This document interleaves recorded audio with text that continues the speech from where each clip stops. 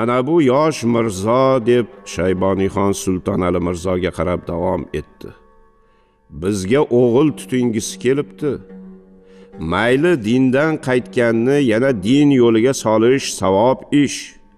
Shahzoda temurxon uni o'z odamlari qatoriga olsinlar. Otasiga yaqin o'tirgan yigirma yoshli xushbichim temurxon semiz mirzoga nafratli bir nazar tashladi-yu, ammo xonga ta'zim qilib buyruqni bajarajagini aytdi. Yaxshi bo'lsa oshini yer, qo'shib qo'ydi Shayboniy xon. Yomon bo'lsa boshini. Sulton Ali Mirzo vaqtincha tirik qolayotganini ko'p odam shu so'zlardan sezdi. Endi pastki qavatda o'tirgan zuhrabegimning taqdirini hal qilish kerak edi. shayboniyxon bir vaqtlar zuhrabegimni juda go'zal deb eshitib o'zimga g'unchachi qilib olarman deb o'ylagan edi. G'unchachi muvaqqat xotin. Shuning uchun begimga yozgan xatiga bir necha satr she'r qo'shgan edi. Ammo uni bugun o'z ko'zi bilan ko'rgandan keyin begimdan ixlosi qaytdi. To'g'ri she'r yozib begimni aldagani ko'nglining bir chetini xira qilib turar edi ammo bu yerda zuhra begimdan nafratlanib gapirgan ayonlar u xotinning buzuqligiga xonni ham ishontirdi-yu ko'nglidagi bu xiralikni tarqatib yubordi. O'zi shunday aldanishga munosib xotin ekan deb o'ylandi xon. Agar hozir qo'yib bersam sultonlar uni quturg'an biyaga sudratib o'ldiradi. Lekin men murodingizga yetasiz dedim. Murodi erga tegish ekan. Zo'r bir er topib berib so'zimning ustidan chiqayin.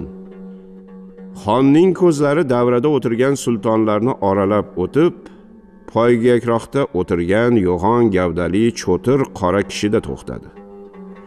Mansur baxshi deb ataladigan bu odam tabiblik qilar edi.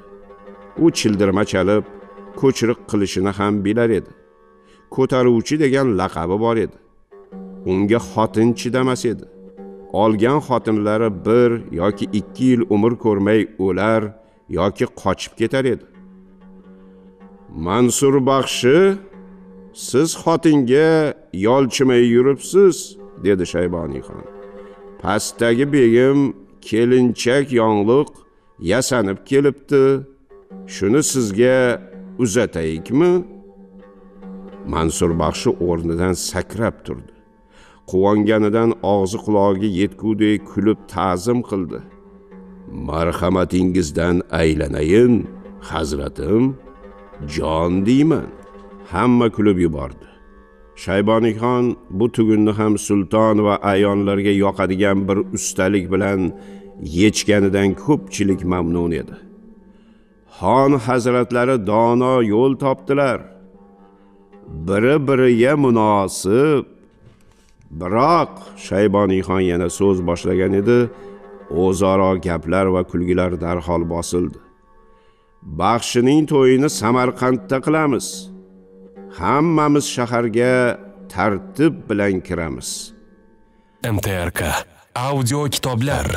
Samarqandda bir necha marta bo'lgan va qayerda nima borligini yaxshi biladigan xon qo'shinlarning shaharga kirish va joylashi tartibini oldindan o'ylab qo'ygan edi. Hozir shuni buyruq shakliga keltirib lashkarboshilarga aniq ko'rsatmalar bera boshladi. Shayboniyxonning besh ming kishilik qo'shini chorraha darvozasidan samarqandga kirib borganda shaharning narigi tomonidagi so'zangaron darvozasidan yuzlab odamlar qochib chiqib ketmoqda edilar. Bobur hozir shahrisabzda edi. Samarqanddan qochib chiqqan uning tarafdorlari shahrisabzga qarab shoshilmoqda edilar. Ammo shayboniyxonning quyunday yugurik otliqlari ularning ko'pini quvib yetib ko'chlarini talashdi ko'plarini ayovsiz o'ldirishdi. Kechasi shaharda talonchilik avjiga chiqdi. Faqat xo'ja yahyoning hashamatli uyiga va keng hovlisiga talonchilar yo'latilmadi. Ko'pakbiyning yuzta navkari xo'ja yahyoning hovlisini qo'riqlab turdi. Biroq ko'pakbi qo'ygan maxsus odamlar xo'ja ahrordan qolgan boyliklar oltin va javohirlarning qaysi sandiqlarga joylashtirilayotganini pana panadan kuzatib ko'z tagiga olib qo'ydilar. Xo'ja yahyo ikki o'g'li uch xotini o'n beshtacha xizmatkori yordamida tuni bo'yi ko'ch yig'ishtirdi. Tong otganda barcha sandiqu bo'xchalarini ko'ch ko'ronini to'rtta aravaga va o'n ikki tuyaga yuklatdi. Ayollarni soyabon aravaga chiqarishdi. Xo'ja yahyoning o'zi ikki o'g'li va o'nta qo'riqchi xizmatkor yigiti eng yaxshi otlarini mindilar. Samarqand bilan g'amgin xayrlashib qal'adan chiqdilar. Ko'pakbiy o'z navkarlari bilan birga xo'ja yahyoni ohaklik tog'igacha kuzatib qo'ydi. Termiz yo'liga tog' oshib o'tish kerak edi. Bir tog' darasining ichida ko'pakbiy xo'ja yahyoga qarab biz on hazratimning buyrug'ini bajardik. Endi u yog'iga o'zingiz ketavering dediyu navkarlari bilan orqaga burildi. U ko'rinishidan samarqandga qaytmoqchiga o'xshardi. Ammo daradan chiqqandan keyin yo'lni o'ngga burdi. Boshqa bir dara orqali xo'ja yahyoning o'ng tomonidan aylanib o'tdi. G'ira shira qorong'ilik tushib odam odamni yaxshi tanimaydigan payt bo'lganda ko'pakbiy barcha askarlari bilan yuqoridan ko'chkiday yopirilib tushdi. Qiy chuv dodvoylarga qaramay xo'ja yahyoning o'zini ham ikki o'g'lini ham qo'riqchi yigitlarini ham qilichdan o'tkazishdi. Tirik qolgan ayollar ko'pakbiyning o'nboshlariga boshqa o'ljalar qatorida ulashildi. Sandiqdagi javohirlar va oltin kumushlarning yarmi kechasi xonning xazinasiga eltib topshirildi. Chunki ko'pakbiyning xo'ja yahyoni hajga jo'natish bahonasi bilan tog' ichida o'ldirishi va boyligini musodara qilishi shayboniyxonning imo ishorasi bilan qilingan edi. Bu voqeadan xabar topgan sulton ali mirzo o'lim xavfi o'ziga ham yaqinlashib kelayotganini sezdiyu qanday qilib bo'lsa ham qochib qutulishning payiga tushdi. Quyuq tuman tushgan kuni azonda ikki navkar bilan feruza darvozasidan yashiriqcha chiqib panjakent tomonga qochdi. Biroq temur sulton uning ketiga qo'ygan xufiyalar bu voqeadan xabardor edilar. Sulton ali mirzo qal'adan qochib chiqquncha uni ataylab qo'yib bergan edilar. Chunki uning aybini bo'yniga qo'yib qochib ketayotgan paytida tutib o'ldirmoqchi edilar. Sulton ali mirzo siyob bo'ylarga bormasdanoq ketidan temur sulton ikki yuz navkari bilan uni quvib yetdi va darhol o'rab olib bir qilich zarbi bilan boshini tanasidan judo qildi. Mansur baxshiga nikohlab berilgan zuhra begim yolg'iz o'g'lining tobutda boshsiz yotgan tanasini ko'rganda o'zining kallasiga mushtlarini urib dod soldi. Yuzini qo'li bilan tirnab qonatib yubordi. Ko'ylagining yoqasini yirtib chinqirdi. Lekin g'oliblar buning hammasiga battar bo'l o'zing sababchisan degandek bir zaharxanda bilan qarashdi. Suvlarning yuzi xazonlarga to'lib oqadigan sershamol kuz kunlari boshlandi. Samarqanddan o'ttiz chaqirimcha sharq janub tomonda panjakentdan quyida zarafshon daryosini kechib o'tgan ikki yuzdan ortiq qurolli suvoriylar qorong'i tushganda siyob bo'yiga yaqinlashdilar. Ular yo'llarda uchragan qishloqlarni chetlab o'tishar hech qayerda to'xtamasdan shovqin suron ko'tarmasdan mumkin qadar sukut saqlab kelishar edi. Ularga birda yarim duch kelib qoladigan dehqonlar qo'rqib o'zlarini chetga olar edilar. Shayboniyxonning askarlari hammaning yuragini olib qo'ygan edi. Hozir samarqand atroflarida xonning besh mingdan ortiq qo'shini bor edi. Odamlar mana bu otliqlarni ham shu qo'shinning bir bo'lagi deb o'ylab ulardan balodan qochgandek qochar edilar. Biroq otliqlarning o'zlari alla narsadan xavotiri bordek ehtiyot bilan bormoqda edilar. Mtrk audio kitoblar qorong'ida siyobdan o'tayotganlarida otlarning besh oltitasi balchiqqa tiqilib qoldi. Ularni balchiqdan chiqarishga urinib o'zlari loyga botgan yuzlarini qamishlar tirnagan navkarlar achchiq ustida baland ovoz bilan so'zlashgan edilar tanish ovoz ularni urishib berdi. Muncha dodlaysiz yog'iyga xabar bermoqchimisiz? Boburning ovozini tanigan bir navkar ma'zur tuting amirzodam dedi. Harom o'lgur ot yomon tiqildi. Buloq suvlaridan yig'ilgan siyob sovuq kuz kechasida bug'lanib oqmoqda edi. Tun qorong'isi ustiga suv bug'lari ham qo'shilib balchiqni quruq yerdan ajratib bo'lmas edi. Loyga botgan otlar ancha odamni yo'ldan tutib qolayotganini ko'rgan bobur bas chiqarib bo'lmasa qolsin dedi. Qosimbek darhol uning so'zini quvvatladi. Piyoda qolganlar mening otlarimdan olsinlar. Oti loyga tiqilgan navkarlardan biri tohir edi. Tog'larda qancha otu tevalar qoldi. Uchmalardan o'tib kelgan otim endi shu balchiqda qolsinmi a dedi tohir otiga achinib. O'zimizning jonimiz ham qil ustida dedi bobur. Tohir qosimbek uchun yetaklab kelinayotgan otlardan biriga mindi. Yana ikki navkar piyoda qolgan edi.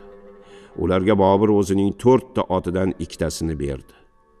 Hozir uning ko'ziga ot ulov ko'rinmas edi. Eng muhimi uning samarqandga yaqinlashayotganini shayboniyxon mutlaqo sezmasligi kerak.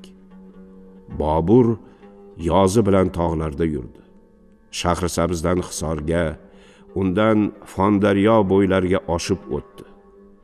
Samarqand beklari butun navkarlari bilan hisor hokimi hisrabshoh tomoniga o'tib ketdi. Andijondan bobur bilan kelgan odamlarning ko'pchiligi iskandarko'l bo'ylaridan o'ratepa orqali farg'ona vodiysiga qaytdilar. Jang dovullar bu xabarlarning hammasini shayboniyxonga allaqachon yetkazgan edilar.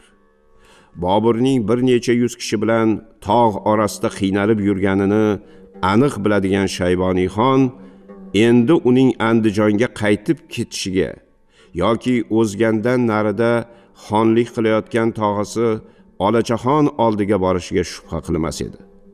Shayboniyxon yov hujum qilishini kutmas shuning uchun shaharda 500 kishilik qo'shin qoldirib qal'a tashqarisidagi xo'jadiydor degan joyni qarorgoh qilgan edi. Shayboniyxonning bexavotir yurganidan xabar topib samarqandga tavakkal qilib borayotgan bobur juda qaltis bir ishga bel bog'laganini sezardi. Shayboniyxonning josuslari ko'pligi unga ma'lum edi. Xon o'zini sezmaganga solib boburni shaharga yaqin kelguncha qo'yib berishi keyin qurshovga olishi mumkin edi. Shahar ichidagi qo'shin ham boburning odamlaridan ikki uch barobar ko'p. Bobur shayboniyxonning qo'liga tushsa tirik qutula olmasligini biladi. Navkarlar beklar omon qolishi va xon askarlari safida xizmat qilib ketishi mumkin. Sulton ali mirzoning ko'pchilik bek va navkarlarini xon o'z lashkarlariga qo'shib olgani hammaga ma'lum. Ammo yangi bir sulolaga asos solmoqchi bo'lgan shayboniyxon temuriylarni ayovsiz o'ldirishga qasd qilganini bobur bilar edi. Shuning uchun agar biron falokat bo'lsa-yu qutulib ketolmasa oxirgi nafasigacha jang qilishga xonning qo'liga tirik tushmaslikka ahd qilib bormoqda edi. Qorong'ida yana bir talay ariqlardan o'tdilar.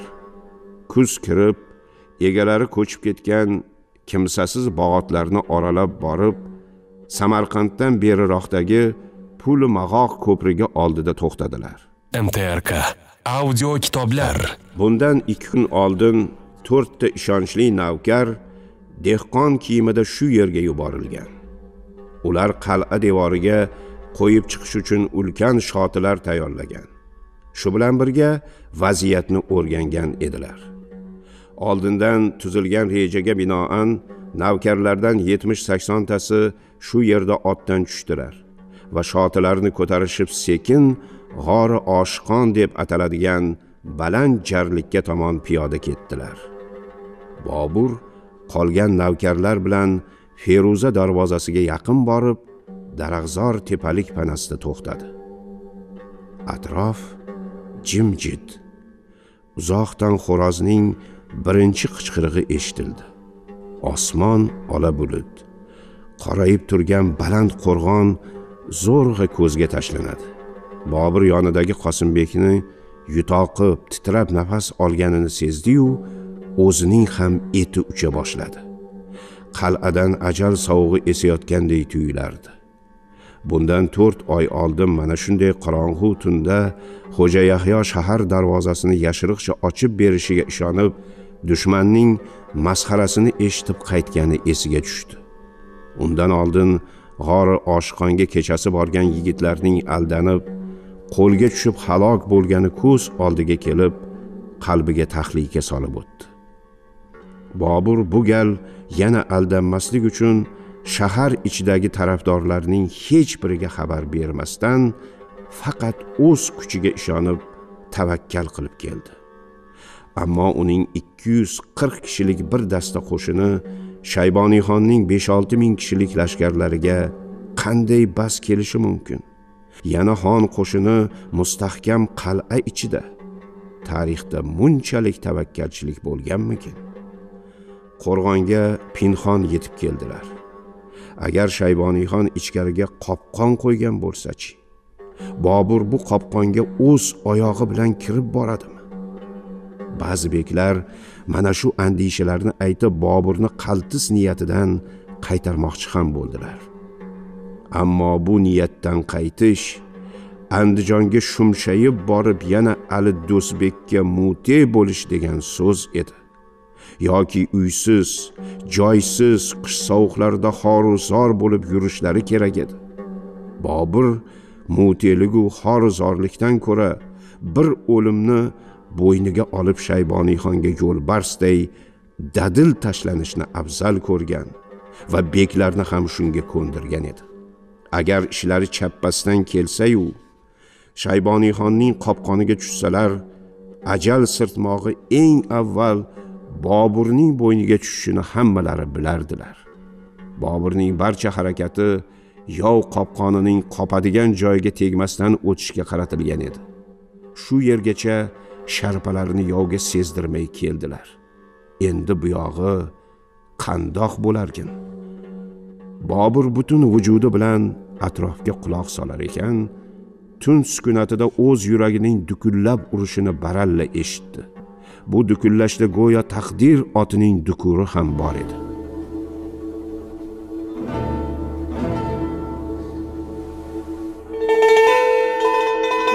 Audio kitob. Pirimqul qodirov. Yulduzli tunlar.